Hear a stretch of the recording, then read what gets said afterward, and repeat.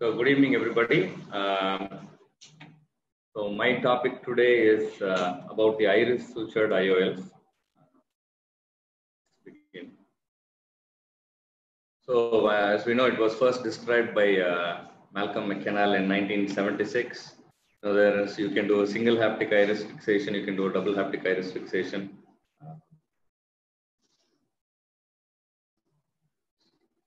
One second. So coming to the uh, surgical technique, so the advantage of doing the iris sutured IOL is it can be done as a primary procedure as well as as a secondary procedure.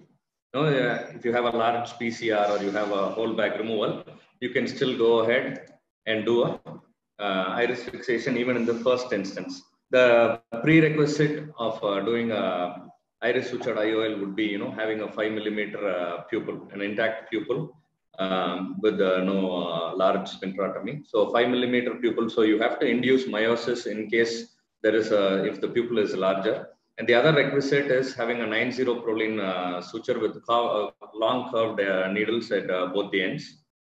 Um,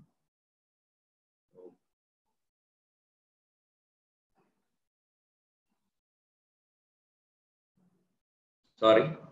So coming to the surgical technique, so a 9-0 Prolene suture with a long uh, needle is passed through the uh, cornea into the iris. It might look like a blind procedure, but you know it has a small learning curve. So once you learn this, this bite is easy. You know uh, you can do that. So the cross section would be like that. You know it passes through the cornea, through the iris, then the posterior segment, and then through the iris and the cornea. So the bite will be approximately 1.5 to 3 millimeters uh, apart from each other. And uh, so once the bite is being taken, a paracentesis is made right in between uh, those two uh, uh areas of uh, corneal entry. The main idea of having the paracentesis is to uh, tie the suture. and next, the, the suture is externalized by using a Kuglen's hook. And the suture externalized loop is it's looped around the haptics and then um, it's inserted in. The most important part uh, to know this is, you know, when the leading haptic uh, goes inside, it's a single haptic iris fixation case. Um, uh, the suture is gently pulled so that the haptic gets noosed around at the optic haptic junction. So which suture to pull is the suture which is away from the haptic tip. So if this is the haptic tip, the suture which is away from it will be the will be this one. So when you pull this, it automatically gets noosed around uh, at the optic haptic junction.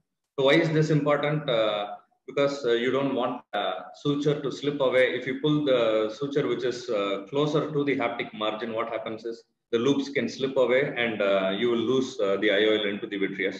So it's very important that you pull the opposite, the distal end of the suture. And one other important step is not to dial the IOL you know, like your regular cataract surgeries, the main thing to know is you shouldn't dial the IOL. Instead, uh, like your uh, extra cap cases where you um, you push the haptic inside and pronate, that is what you should be doing.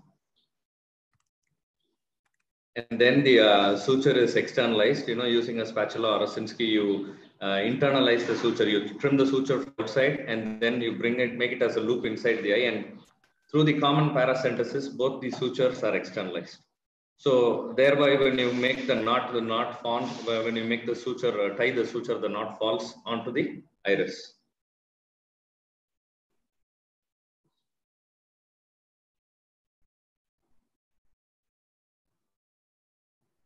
So it is done with the other suture as well. So once both the sutures are externalized through the uh, common paracentesis, the knot is placed onto the uh, iris. So these are the steps uh, uh, generally. The knot is stuck inside the uh, anterior chamber through the paracentesis. And then uh, viscoelastic is washed and anterior vitrectomy is performed. Uh, most of the anterior vitrectomy is performed after placing the IOL. Uh, the reason doing anterior vitrectomy after taking the suture is that if you have a lot of vitreous in the anterior chamber and uh, you go ahead with an anterior vitrectomy, taking the bites becomes very difficult. Since the eye becomes, the volume of vitreous in the eye becomes uh, less the eye becomes soft. And so when you take the bite, the eye uh, becomes squishy and it indents. A lot of indentation happens uh, and uh, it doesn't pierce the cornea nor the iris. So it's very important to note that you, you make the suture bites before performing an anterior vitrectomy. So this is a primary case. This is a video of showing a hard brown cataract with dense uh, pseudo-exfoliation, small pupil. Uh, it was clear cut where the uh, uh, double haptic fixation is being done. It was clear the nucleus was floating in the AVF, the nucleus was externalized. So once uh, the bites have been taken, the loops are externalized using a Kuglen's hook. So once the loops are uh, put onto the bo both the haptics, it is looped again a couple of times, three, four times on both the haptics. You can do a single loop technique, but the main reason behind doing uh, multiple loops onto the haptics is so that uh, there is more stability. So when you have a single loop, it acts like a seesaw. The IOL tilts. It, it can tilt either way. Um, so it is always important to have a couple of loops when you are doing a, a primary surgery like this. So once they are externalized, the sutures are brought into the uh, anterior chamber, internalized into the anterior chamber, and one by one the sutures are gently externalized and uh, the sutures are tied.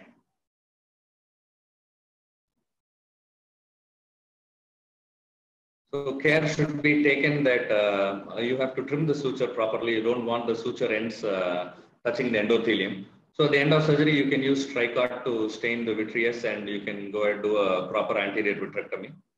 Uh, the main uh, take-home point would be is to you know take the bite and then do your uh, vitrectomy either the, before placing the IOL or after placing the IOL. The main reason for placing the IOL and doing vitrectomy is you don't want the IOL moving too much when you're operating. You don't want it to tilt and all that. So once the IOL is set and you tie the sutures, then you can do the anterior vitrectomy. So this is one other uh, scenario of primary uh, iris fixation where uh, it's a very hard cataract where uh, we were trying to uh, you know anchor the bag with capsule hooks and perform phaco. and eventually during the last quadrant removal we had a PCR. I had a posterior capsular rent. So the other part of the bag was very strong. So what we did was with the vitrectomy probe, you cut the bag into half and you know check for your uh, support. So once you have enough support on one side, what you can do is you can place the leading haptic in the sulcus and the trailing haptic can be planned for a uh, single haptic iris fixation uh, technique. So once uh, the support was uh, you know confirmed on the other side, a single bite was taken and the suture is externalized using a Kuglen's hook, multiple loops, four five loops into the uh, haptic, and gently make sure that the haptic goes into the sulcus and not uh, posteriorly. So gentle care has to be taken. So once you hold this, it is very important to hold the distal end of the suture. So when you hold the distal end of the suture and pull, what happens is it gets anchored into the uh, uh, optic haptic junction. And then you do not dial. Instead of dialing, you go in, pronate your uh, lens holding forceps and let the haptic go posteriorly into the uh, sulcus area. So once that part is done, it is the same. You trim the sutures, internalize, bring it into the anterior chamber, you bring it into the anterior chamber and bring both the sutures out through the common paracentesis. So when you bring both the sutures through the common paracentesis and tie it, you know, it falls directly onto the iris. The main idea of uh, having the suture is the suture should be tight on the iris. You know, it shouldn't crush any iris tissue. So don't crush the iris tissue. Keep the suture as a parabola. You know, it has to be loose, loosely placed over the uh, iris tissue so that you know there is no restriction of the pupillary movement. And uh, there's one other uh, scenario. You know, this uh, patient uh, had a trauma, uh, trauma which caused a decentration of the eye. So it was uh, planned as an IOL explantation with an SFIOL. But you know, before doing that, we always, you know, you want to do a easier and safer technique. so what we tried was we could find that the haptic was fibrosed in one end, the other end, you know, it was totally moved. So anterior vitrectomy was done to remove the fibrosis. The fibrosis, half the bag was uh, removed, it was uh, released, the haptics were released, and then a bite was taken. Sorry.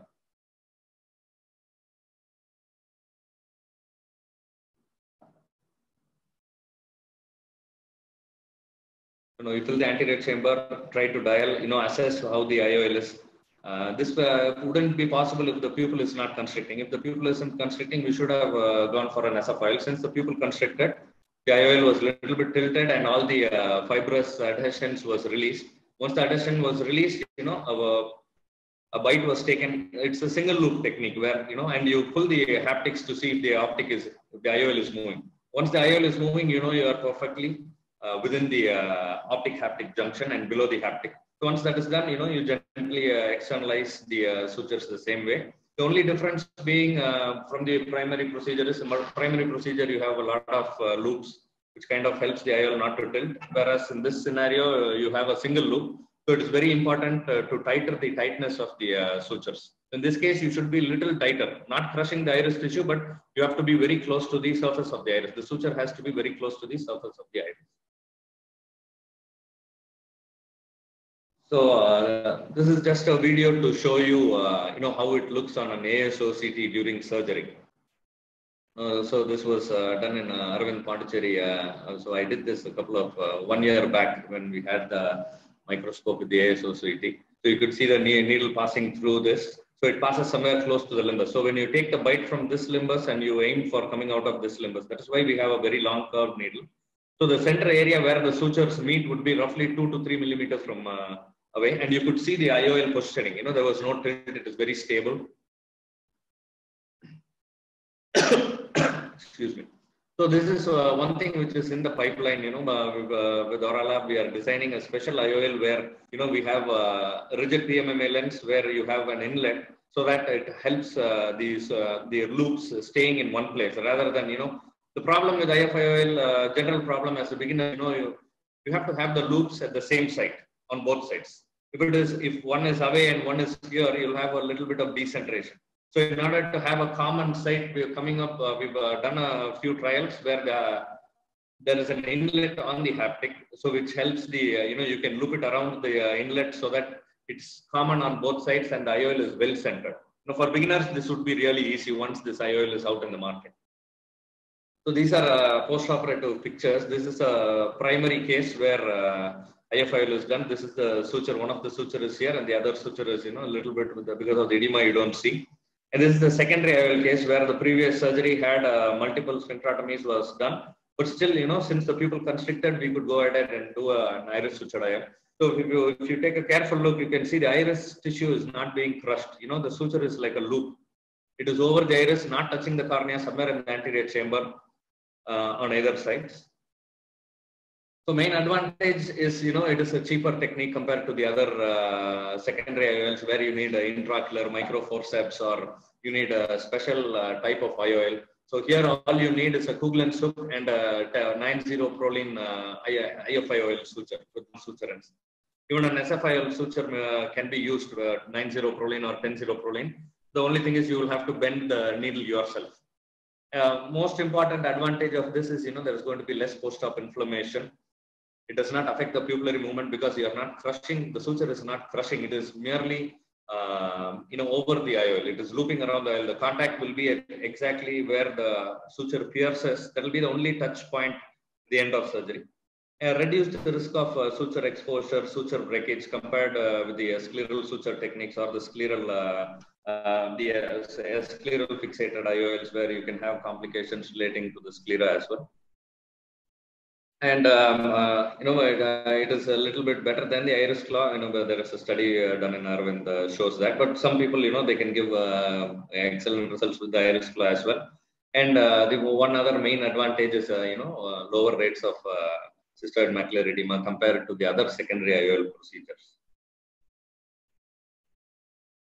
Only the contraindications being you know very a lot of iris atrophy is there large iridodialysis you have dense pseudoexfoliation with fibrotic iris, uh, then you shouldn't do this. uveitic patients and patients who got a large sphincterotomy, the primary procedure where they did a large uh, SI or large multiple STs, then you know you probably shouldn't be doing the IFI.